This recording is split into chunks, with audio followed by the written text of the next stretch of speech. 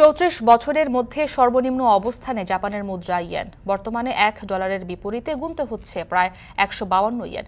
গেল সপ্তাহে আট বছর পর ঋণাত্মক সুদ নীতির অবসান ঘটিয়েছে জাপান। একই সঙ্গে সতেরো বছরে প্রথমবার মতো সুদ হার বাড়ানোর ঘোষণা দেয় দেশটির কেন্দ্রীয় ব্যাংক। ঋণাত্মক সুদ সহ জাপানের ব্যাংকিং ব্যবস্থায় সব ধরনের অপ্রচলিত প্রণোদনামূলক ব্যবস্থা বাতিল করে ব্যাংক অব জাপান এরপর থেকেই ইয়েন পতনের আশঙ্কা করা হচ্ছিল।